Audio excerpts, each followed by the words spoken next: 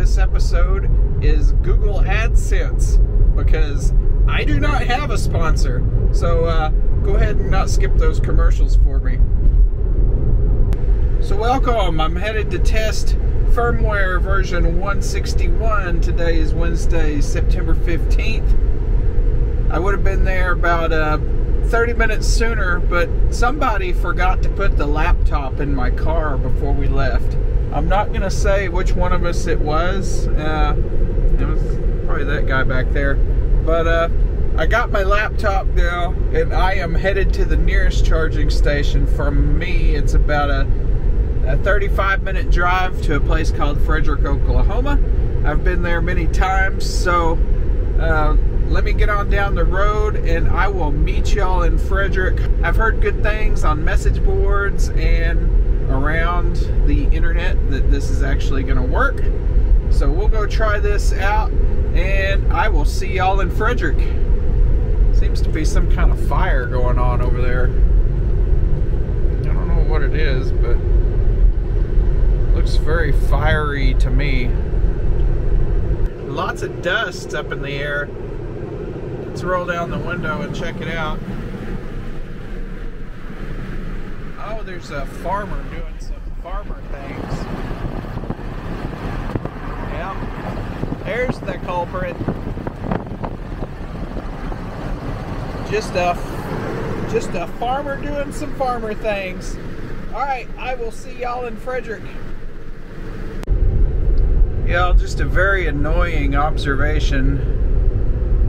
The car thinks the speed limit is 45 on this road, and the speed limit is flipping 65.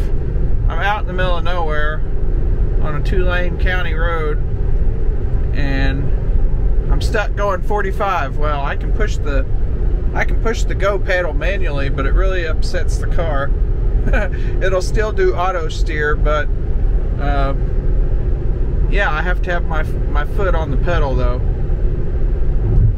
That would be nice if we could get this uh, speed limit bumped back up to uh, 65 here, Mr. Elon, since I know you watch my my channel. All right, so we've made it to my favorite spot here in Frederick, the Francis Energy, and uh, let's take a look at my trip here. Just for the record, I am 34 miles from my house exactly. 263 watt hours per mile on that last trip. Let me get all set up and we'll go POV. Okay guys, I got a little company here at the the electric station out in the middle of nowhere, so kind of surprised. Now I'm a little shy and bashful all of a sudden. But let's get this, uh, oh, I can't walk with the cord. See, I'm all out of whack now. I don't know how to perform with a audience. All right, so let's get this uh, connected first.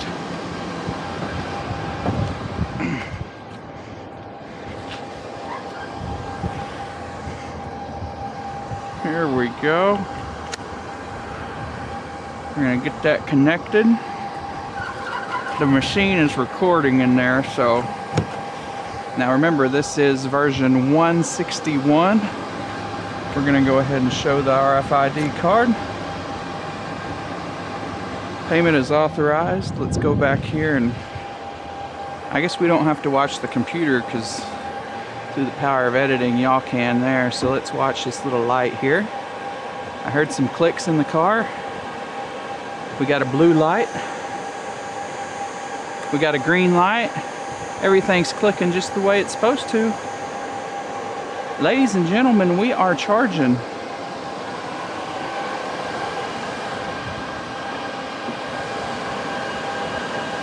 I'm getting 38 kilowatts. Heck yeah. We are charging here, y'all. So really, I'm going to go ahead and stop this because there's no reason to me get charged here because I am a cheap donkey. So we are going to go back here and we are going to log this and clear that. And just for grins, we're gonna try it one more time. That seemed to work great, but we are gonna try it just for YouTube's sake since I drove all the way down here. So let's go ahead and unhook this. We will finish this here. Okay. Everything's showing available if you can see that. So we are going to go over here and hook this adapter in.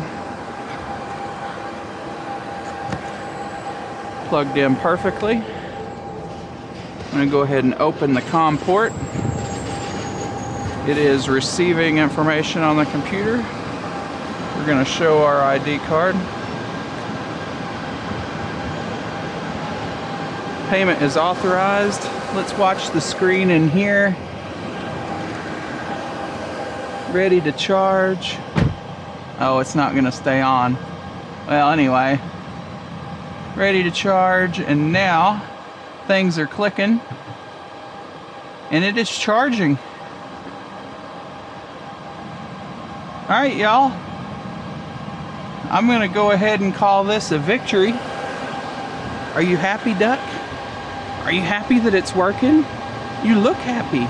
Yes, you look happy. So we are charging here, guys, and this is a successful test. I'm gonna go ahead and stop this, and I will close out with y'all in the car on the way home, since uh, I got some company over there. It's a really nice Kia Niro over there charging. I've never seen one in person before. Uh, has that silly California sticker where they can drive in the in the special lane.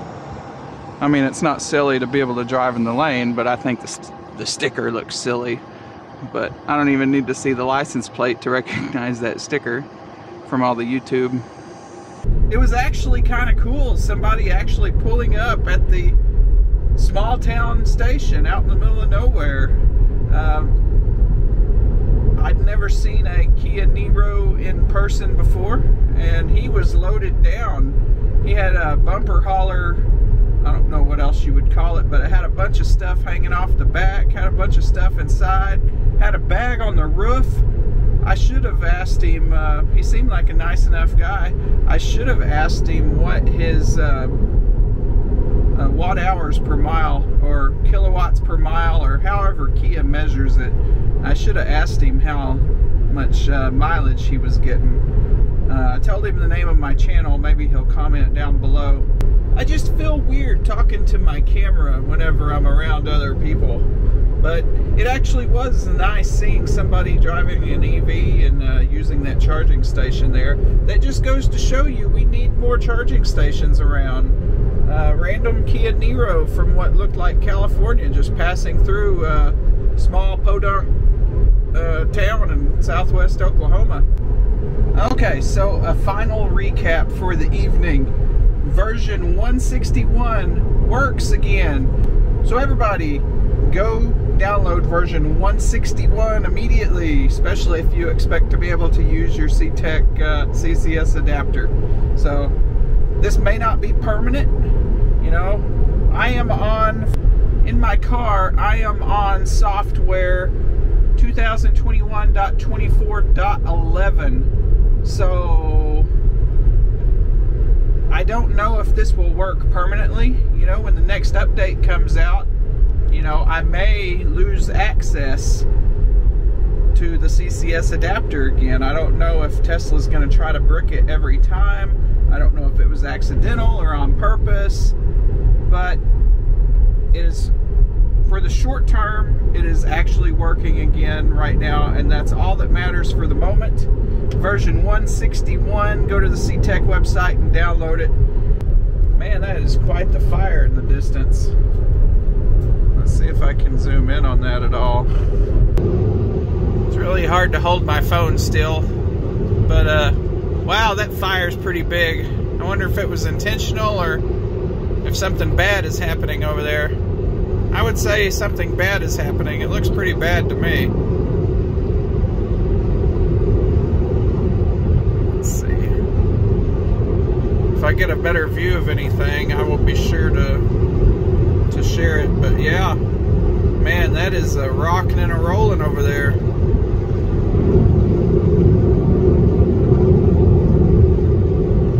Can't really see any flames or anything.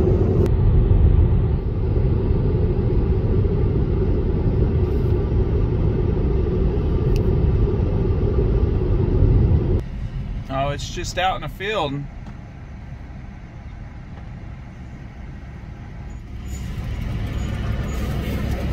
I don't see any fire out there.